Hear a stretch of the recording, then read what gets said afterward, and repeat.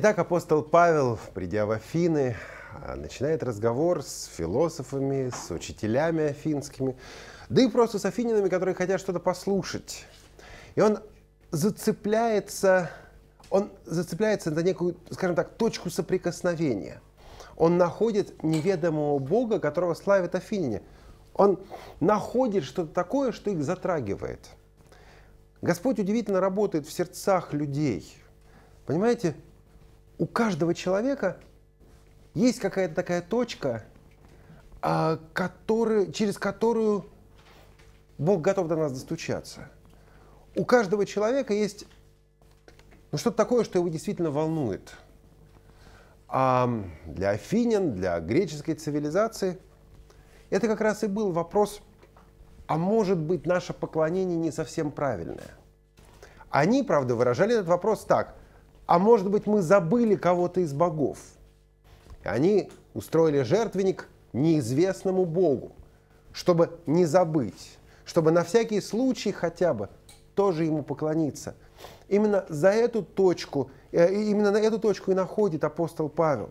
А он хвалит Афинян, он говорит, что вы набожные люди, и говорит им, сего-то, которого вы, не зная, чтите, я проповедую вам он находит общую точку, он находит точку соприкосновения, и он начинает разговор. Наша проблема, наша ошибка очень часто заключается в том, что мы ведем разговор в лоб. Называется, мы подходим и говорим, Богу, мы говорим человеку сразу, Бог тебя любит. На что человек говорит, отстань. У нас не хватает времени к этому человеку присмотреться – у нас не хватает времени понять этого человека и, обращая, обращаясь к Богу, в молитве к Богу спросить, как мне до этого человека достучаться? Как мне до этого человека донести Твое Слово? Есть ли какая-то точка соприкосновения? Есть ли что-то такое, что вот для этого человека особенно важно – что-то такое, что ему нужно услышать. Что-то такое, что ему нужно пережить. Что-то такое, что он, в чем он понимает. Вот да, моя жизнь, в моей жизни есть незавершенность, в моей жизни есть неполнота.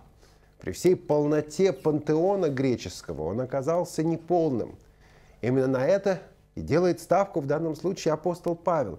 Именно так и начинает он проповедь.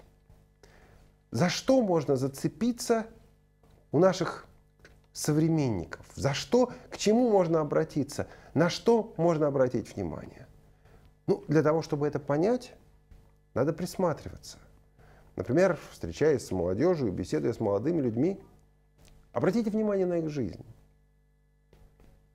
Только не на то, что вот, вот они не такие, как мы. Боже мой, естественно, они не такие, как мы. А мы не такие, как наши родители в чем-то. А наши родители не такие, как бабушки и дедушки. Это всегда было так, это всегда, это всегда будет так. Но попробуйте все-таки понять, какие они. Попробуйте понять, что этих людей радует, что этих людей угнетает. Попробуйте понять, почему они рассуждают именно так. Попробуйте понять, используя пример, который я приводил на нашей первой встрече пару дней назад – Почему человеку, вывесившему свои фотографии ВКонтакте или в Одноклассниках, так важно, чтобы кто-то по поводу этих фотографий высказался? И почему, его, почему ему неприятно, если никто не высказывается? Попробуйте понять, чего ищет человек, чего он хочет, к чему он стремится. Нащупайте ту точку и просите Господа, чтобы Он помог вам нащупать ту точку, в которой этому человеку действительно сейчас нужен Бог. Или, по крайней мере, то, что он воспринимает как потребность в Боге. На самом деле нужен Бог по многим причинам. Да, но у каждого из нас есть э, конкретная причина, которая для нас кажется самой главной. Например, те из нас, кто живут в больших городах, отлично знают, что такое разобщенность. Я не знаю, как у вас в вашем городе, но, допустим, в Москве сегодня уже а, многие живут на лестничных клетках, даже не зная, как зовут соседей. А, не говоря уже о том, чтобы там, я не знаю, вот, э, общаться, спрашивать, как дела, или там вместе праздники отмечать, как это было, может быть, 50-60 лет назад. Нет, человек может жить, и соседей он может не знать. И при этом человек, особенно попавший в этот большой город, ощущает себя отрезанным от всех. Он ощущает себя в изоляции. В Москве сейчас большое количество гастарбайтеров – вот таджики, узбеки, которые строят, которые управляют маршрутками, водят такси, которые на улицах, а, которых на улицах полно. Знаете, э, что мы увидели и что нас просто поразило? Если познакомишься с кем-то из них, спросишь, как его зовут, он уже расплывается в улыбке. А если через день, через два его встречаешь, водителя той же самой маршрутки, на которой постоянно ездишь. И еще вот это имя, там, Пархат, допустим, да, что-нибудь такое, вспомнишь и воспроизведешь, и назовешь его по имени, вот он, у него улыбка вот, шире ушей. Потому что там 2-3, ну, во-первых, это запомнить, запомнить, потом на 2-3 дня, значит, 2-3 дня не забыть, потом обратиться по имени. Слушайте, к ним никто не обращается по имени, их называют просто таджиками. Но вот это такой ключик, я бы не сказал, что золотой ключик, да, ну просто ключик, который помогает устанавливать контакты с людьми. Вот Павел начинает с того, что устанавливает контакты с людьми. Вы особенно набожны, вы поклоняетесь Богу, которого не знаете. И вот об этом Боге я буду вам говорить. То, что Павел говорит дальше, нам с вами сегодня кажется ну, совершенно очевидным. Но для афинян каждое из следующих утверждений апостола Павла было революционным. Начиная с 24 стиха. Апостол Павел буквально громоздит друг на друга откровение. Смотрите, что он делает. Бог, сотворивший, сотворивший мир и все, что в нем – ну, начнем с того, что греческие боги были сами сотворенными, они не были вечными, некогда был хаос, из которого все происходит. Начнем с того, что а, боги никогда не а, рассматривались, не осмысливались как творцы всего мира. Опять-таки у них были свои узкие полномочия, но никак не творцы всего мира. И вот Павел говорит об этом Боге – не просто как об одном из многих. Ребята, вот у вас есть такой-то, есть такой-то, есть такой-то. Я вам еще добавлю одного. Он говорит об этом Боге, как о Боге исключительном. Таком Боге, само существование которого ставит нам, нас перед выбором. Вот нельзя так, что все они плюс еще один – Варианта только два. Либо все вот те башки, либо этот. Но если этот, то все другие уже не к месту. Все другие уже не нужны. Если этот, то в системе мировоззрения всем другим места уже не остается. И вот это, друзья мои, невероятно современная – невероятно актуальная вещь. Христианство претендует на исключительность. Оно не может соседствовать с другими верованиями, как одно из них. Или Христос, или все остальные. Вот именно так выглядит христианское мировоззрения. Но прежде чем идти дальше, мне нужно сказать об одной очень тонкой грани, которую сегодня многие не замечают. Но понимать его, ее нужно. Эта грань видна и у Павла. Порою на основании того, что я сказал только что, нас, христиан, обвиняют в экстремизме. Вы считаете, что христианство исключительно, значит, вы экстремисты. Значит, вы ущемляете права представителей других религий. Соответственно, а, закон об экстремизме, соответственно, а, юридически определенные последствия и прочее. Я бы хотел обратить ваше внимание здесь вот на что, чтобы, ну, по крайней мере, в наших с вами головах вот это разграничение провести. Экстремизм предполагает, что мы считаем, а, что мы исповедуем превосходство, обратите внимание, некой группы людей. Если бы мы с вами говорили, христиане это люди первого сорта, все остальные люди второго, третьего и так далее сортов. Вот это было бы экстремизмом. Христиане лучше всех остальных, просто потому что мы христиане. Экстремист проповедует исключительность некой группы людей, будь то нация, будь то раса, будь то религиозная общность. А, экстремист проповедует исключительность некой группы людей и на этой основе, на этом основании уничтожает или уничижает, по крайней мере, все остальные группы людей. Вот э, немецкий нацизм был экстремистским по своей, самой своей сути. Да, арийская раса, э, немцы имеют превосходство над всеми остальными. Вот это экстремизм. Христианство никогда этого не проповедовало и не проповедует.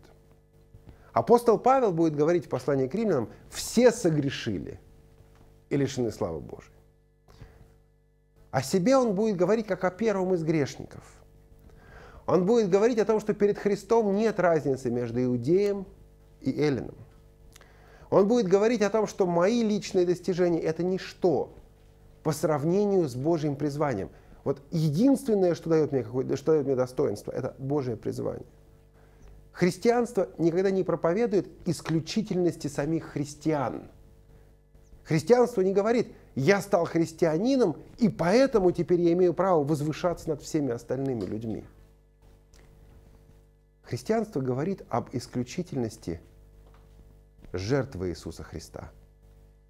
Еще раз, не об исключительности самих христиан, а об исключительности жертвы Иисуса Христа, об исключительности Божьей любви, не превознося при этом одну из групп людей над всеми остальными. Мы, христиане, точно так же боремся с грехом, как неверующие. Более того, наше осознание греха куда острее, чем у неверующего человека. Неверующий человек может соврать, обмануть, и совесть его мучить не будет. Ну а что, нормально, все так живут. Христианина при этом замучает совесть. У нас есть борьба, эта борьба очень серьезная. И вот когда в следующий раз вы, допустим, услышите, что ну вот ну, ну нельзя говорить об исключительности Евангелия, нельзя говорить об исключительности Христа, э, это экстремизм. Запомните, пожалуйста, экстремизм – это когда мы говорим о нашей исключительности. Мы лучше других. Но мы с вами отлично знаем, что мы не лучше других. Мы с вами отлично знаем, что а, Христос оправдал нас, Бог оправдал нас во Христе по своей великой милости, по своей великой благодати. Вот Павел а, говорит о Боге, который своим, своим, своим существованием исключает всех остальных богов, который своим существованием делает всех остальных божеств совершенно ненужными, сотворивший мир и все, что в нем – он, будучи, будучи Господом неба и земли, это продолжается та же самая мысль, вот это разделение мира на сферы влияния, оно больше не нужно. Потому что Бог охватывает все. Не в рукотворных храмах живет и не требует служения рук человеческих, как бы имеющие в чем-либо нужду, сам дая всему жизнь и дыхание и все. А у греков одна из идей жертвоприношений заключалась в том, чтобы восполнить нужду богов. Богов нужно было кормить, богов нужно было поить. Получалось, что боги нуждаются в нас, людях, что божества зависят от нас. что жизнь божества зависит от человека, который этому божеству служит. Ну, по этой причине, если человек забудет служить божеству, божество на такого человека гневается.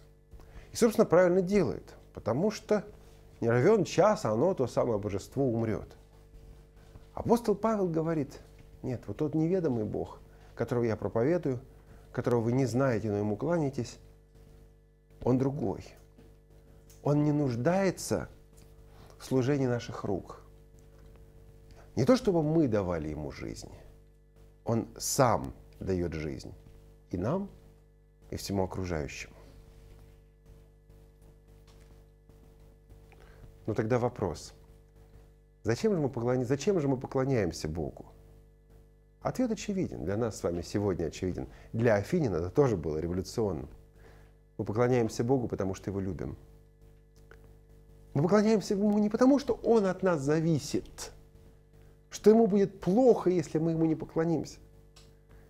Мы поклоняемся потому, что хотим сказать Ему спасибо. Мы поклоняемся Ему потому, что хотим признаться Ему в любви. Потому что Он наш Творец, потому что Он наш, наш Бог. И это совершенно другое, а, другая мотивация. Это совершенно другая причина для поклонения. Понимаете, мы говорим, ребята, важно благовествовать, важно рассказывать Евангелие. Но если мы с вами замолчим, Господь не скажет, что же такое, кто теперь будет рассказывать? Если ученики замолчат, помните, Иисус говорил, камни возопьют. Вот камни заговорят. Бог, Бог способен на это. Если мы замолчим, хуже будет не Богу, хуже будет нам. Потому что мы окажемся непослушными Его призванию. Дело не в том, что когда кто-то из нас не слушается Бога, Бог так сидит где-нибудь у себя там на небесах, чешет в затылке и говорит, ну что такое? Ну вот Вася меня совершенно не слушается. Ну как, как мне теперь жить вообще? Что мне теперь делать в этом мире, когда Вася меня не слушается? В этом плане нет, Бог не зависит от нас. Если Вася не слушается, Бог будет действовать через кого-то еще у него найдутся способы действия. Но проблемы будут не у Бога, проблемы будут у Васи. Вот эти истины, которые для нас совершенно очевидны сегодня, апостол Павел и формулирует, обращаясь к Афининам. 26 стих блестящ совершенно. Опять-таки, если его понимать в контексте. От одной крови он произвел весь род человеческий для обитания по всему лицу земли – назначив предопределенные времена и пределы их обитанию, дабы они искали Бога, не ощутят ли Его и не найдут ли, хотя Он недалеко от каждого из нас. А греки считали себя ну, просто по определению выше всех остальных. Есть греки, ну еще римляне, да, с римлянами спорить особенно, с римлянами спорить особенно не приходится. И есть все остальные. Человечество делится на две категории. Мы и все остальные. Понимаете, это, это то, что на самом деле свойственно каждому из нас. В детстве, в мальчишеских играх. Вот наш класс и те соседи, бэшники, первый А и первый Б. Вот наш двор это нормальные люди. Ну и те соседские, это на соседнем дворе. На соседнем дворе рассуждают примерно так же, но для них все наоборот. Знаки меняются. Вот наша страна и ну вот эти, которые против нас ополчились, свой чужой. Стих, который мы с вами только что прочитали, в первых же, в первых же строках, в первых же словах опровергают это разделение на свой-чужой. Пред Богом этого разделения нет. По крайней мере, это разделение не по крови, не по, не по сотворению. От одной крови Он произвел весь род человеческий. значит разделение это уже, это уже не существует. И для греков это тоже прозвучало как нечто новое. И все же разделение будет. Об этом разделении Павел скажет несколько позже. Разделение это будет по, по принципу, пришел человек ко Христу или нет. Принял он Христа или нет. Но в отличие от плотского разделения, где своих принимаешь, своих принимают, а чужих бьют, духовное разделение призывает нас к несколько к другому. Любить своих и также и любить и благовествовать тем, кто еще далеко. Любить своих – это христианская жизнь, это общение внутри тела Христова. Благовествовать дальним – это тоже христианская жизнь. Это миссионерское служение. И опять-таки благовествовать из любви. Опять-таки, это совершенно иное, иные взаимоотношения между людьми. Это совершенно другая, иная парадигма по сравнению с тем, что э, человеку свойственно. thank you